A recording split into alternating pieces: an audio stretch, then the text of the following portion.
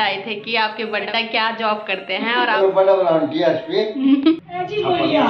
चाचा का आया तो चाचा का भी क्योंकि मेरी अभी शादी भी नहीं हुई कुछ तो कुत्ते के आतंक के डर से मेरी बड्डी नहीं गुड मॉर्निंग दोस्तों welcome back to another blog कैसे हो आप सब? आई होप कि आप सब बढ़िया होंगे।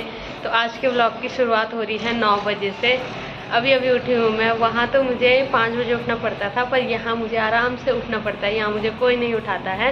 तो अभी अभी उठी हूँ मैं। बड्डी बना रही है नाश्ता। और आज के मौसम की बात करें तो मौसम भी आज लगभग बादल आ रखे हैं और हल्की फुल्की धूप लगी हुई है और यहाँ धूप आने में अभी काफ़ी टाइम है। मेरी मम्मी और मेरी बड्डी लोग ऐसी जगह रहते हैं जहाँ धूप आने में थोड़ा समय लगता है। 11-12 बजे धूप आती है। शहरों में और कुछ देखने को मिले या ना मिले, इतने बड़े बड़े ट्रैक्टर देखने को मिलते हैं कि जब ये चलते हैं तो पूरा मकान हिलता है। मेरे बड्डा अभी उठ गए हैं और उठ के मेरे बड्डा लग गए हैं एक तरफ़ से सबके ब्लॉग देखने पे, क्योंकि आजकल मेरे बड्डा घर पे ही बैठे रहते हैं। सबसे पहले मैंने ब्लॉग अपलोड करा तो बड्डा ने पहले वो देखा फिर मेरे जस्ट बाद चाचा का आया तो चाचा का भी देख लिया। ठीक है? तो अभी औरों का इंतज़ार कर रहे हैं कि और अपना ब्लॉग डाले और बड्डा वो भी देखे। और सबसे ज़्यादा जो इंतज़ार बड्डा को रहता है जिस ब्लॉग का, वो है मेरी भाभी का ब्लॉग।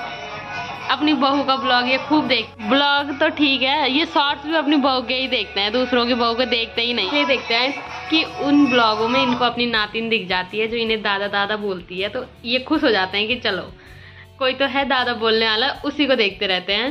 और अभी मेरी बड्डी ने नाश्ता भी बना दिया है। आज के नाश्ते में मेरी बड्डी ने बनाया है चावल की रोटी के पराठे और साथ में है चाय। तो अब हम खा रहे हैं नाश्ता और बड्डा ने खा दिया है। मैं और बड्डी ही खा रहे हैं। अभी हमने नाश्ता कर दिया है और नाश्ता करने के बाद मैं और बड्डी जा रहे हैं घूमने के लिए। और यहाँ पे है गन्ने की खेती। तो आजकल यहाँ पे गन्ने की खेती की कटाई हो रही है और एक खेतों में इतने सारे मजदूर लगे हुए हैं।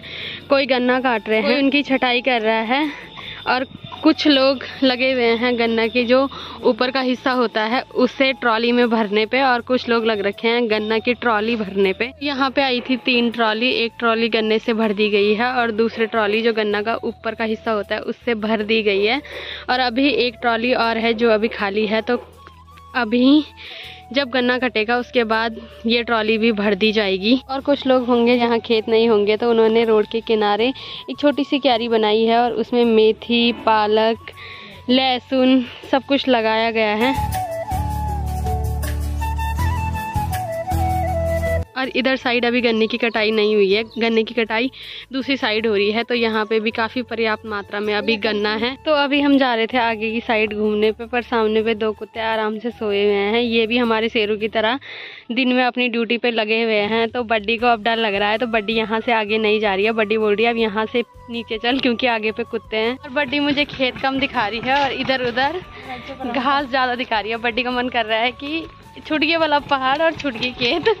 क्यों, क्योंकि पहले बड्डी ऐसी थी कि बड्डी सुबह उठती थी, सबसे पहले घास का कीड़ा लेके आती थी, उसके बाद नाश्ता बनता था। और जब से बड्डी यहाँ आई है, तब से पहले सुबह आराम से उठो, फिर थोड़ी देर घूमो, फिरो, फिर नाश्ता बनाओ। ये होता है, अपना घर अपना घर ही होता है और अपना गाँव अपना गाँव ही होता है। हम लोगों को अपने घर और अपने गाँव की कदर नहीं होती है। हम लोग सोचते हैं कि जो लोग बाहर हैं वो कितने अच्छे हैं, पर यहाँ आके हमें पता चलता है कि जो लोग बाहर हैं वो किस सज़ा में रह रहे हैं, अपना गाँव और अपना घर तो एकदम आज़ाद होता है कि जहाँ मर्ज़ी जाओ, जो मर्ज़ी करो। यहाँ पे बंद के रहना पड़ता है तो यही मैं अपनी बड्डी को समझा रही हूँ कि मुझे घर जाने दे, यहाँ मैं बंद रखी हूँ। पर यार ना मुझे वहाँ से मेरी मम्मी लोगों ने घर जाने दिया, वहाँ से बोल दिया कि चली जा अपनी बड्डी के साथ रह ले कुछ दिन।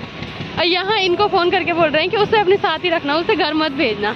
और ये लोग मुझे घर भेजने का नाम ही नहीं ले रहे हैं। मेरे बड्डा तो मुझे ऐसे लालच दे रहे हैं कि आज तेरे लिए चाउमीन लाऊँगा कल तेरे लिए से लाऊँगा परसों तेरे लिए मोमो लाऊँगा पर तू घर मत जा तू यहीं रह ले। और कल से जब से मेरी बड्डी और मेरी मम्मी की बात हुई है तो तब से मेरी बड्डी मुझे एक टाइम का खाना दे रही है और फिर बोल रही है कि चल घूमने चलते हैं।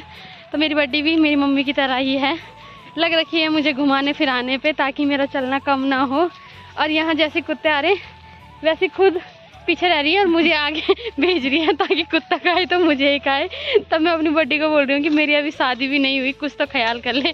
बड़ी बड़ी शादी शुदी हो जाएगी, कुत्ता खा लेगा, बोल तो तब सोच समझ के करवाएँगे ना। यहाँ पे है आम का बगीचा और इस आम के बगीचे में अंदर कम से कम बीस पच्चीस कुत्ते हैं तो अब हम यहाँ से भी घर जा रहे हैं। बड्डा मेरे को और बड्डी को पहले ही बोल रहे थे कि क्या करोगे तुम कहीं जाके, तुम्हें कुत्ता खा लेगा।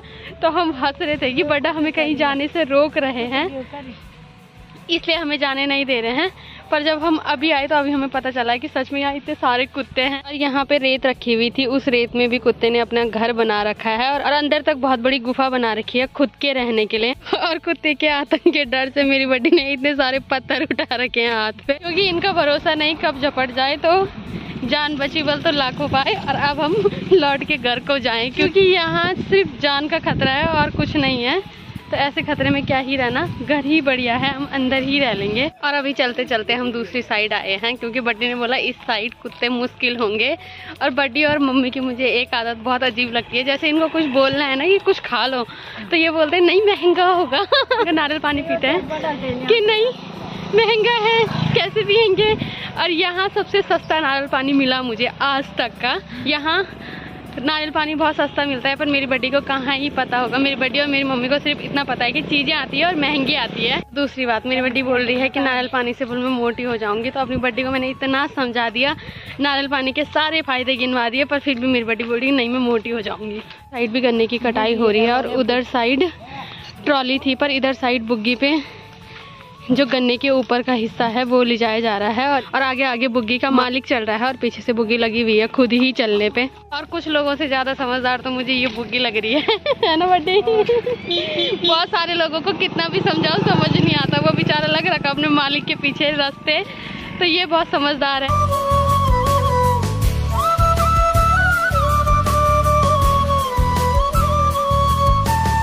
यहाँ पे जो गन्ना काट रहे हैं उनके पास है। के पास है, जिसे हमारी गढ़ वाली भाषा में कुलाड़ी बोलते हैं, जो कि लकड़ी फाड़ने के काम आती है, और इनके पास है दरात, इसकी छटनी कर रहे हैं। और कुल्हाड़ी को यहाँ की भाषा में गंडासी बोला जाता है, और दराती को दराती ही बोला जाता है। ये गन्ने भेज दिए जाएँगे फैक्ट्री में। यहाँ तो यहाँ पे चीनी बनाने की फैक्ट्री, यानी कि शुगर मिल है तो भी गन्ने यहाँ पे हैं, सब गन्ने उसी फैक्ट्री में जाते हैं। इन रोडों में इतने बड़े बड़े ट्रक चलते हैं। तो यहाँ सारे दिन भर यही ट्रक चलते हैं, सुबह भी, शाम भी, रात भी, और सुबह जब मैं मुँह धो रही थी क्रीम लगा रही थी तो मेरी बड़ी मुझे बोल रही थी कि क्या फ़ायदा बल क्रीम लगा के जब फ्री का तो लगी रहा बल वही ठीक है। मैंने कहा फ्री का तो ठीक है पर अपने पैसों का भी लगा देते हैं और बहुत सारे लोग मुझे ये पूछ रहे हैं अभी भी कि बड्डी किसे कहते हैं? तो बड्डी जिसे हिंदी भाषा में ताई जी और ताऊ जी कहते हैं उसको हमारी गढ़वाली भाषा में हम बड्डी और बड्डा बोलते हैं। और अभी हम आ गए हैं घर और बड्डा पी रहे हैं नारियल पानी। तो बड्डा कैसे हो रहा है नारियल पानी? हाँ बढ़िया। और ऑफ़ कैमरा बड्डी क्या बोल रहे बड्डा? ऐसी बढ़िया पर। नहीं है पर कुछ। ऐसे बढ़िया बल खट्टा हो रहा खट्टा। वो तो कहीं नहीं वो कहीं लाए हाँ, वो सब मैंने करा मैंने। हम्म, हम घूमने से आए फिर हमने खाना खाया थोड़ी देर हम लेट गए तो अभी हम उठ गए हैं और अभी अभी मेरी बड्डी ने गर्मा गर्म चाय बना के ला दी है और चाय लाई है कपों पे और मैं मेरी बड्डी और मेरे बड्डा सभी लोग घर पे हैं तो हम अभी पी रहे हैं चाय। और अभी मेरी बड्डी ने पंजाबी की तरह यहाँ पे बिछा रखी है खाट और मस्त करके खाट में लग रखी है मेथी छानने पे। और आज की वीडियो में बहुत सारे लोगों के कमेंट आए थे कि बड्डा क्या जॉब करते हैं और आपकी बड्डी क्या जॉब करती है। बड़ा बड़ा और मेरे बड़े। कुछ नहीं। हाँ। तो मेरा बड्डा वाला डीएसपी बोल दे डीएसपी तो हरियाणा थाना में ठीक है तो सभी लोगों ने सुन लिया होगा कि मेरे बड्डा क्या है मेरे बड्डा को उत्तरा उत्तराखंड के थानों में तो ड्यूटी मिली नहीं इसलिए बड्डा को डीएसपी बनाया गया हरियाणा में। तो ये सभी लोग अंदाज़ा लगा ही सकते हैं कि डीएसपी की वाइफ क्या होती है। क्या होती है बड्डी नहीं डीएस साहब तो सीनियर है हमारे। मज़ाक से हटके डीएसपी मेरे बड्डी का बोल कि डीएसपी के शरीर में एक मक्की बैठ जाए तो डीएसपी यूँ ही डल जाए।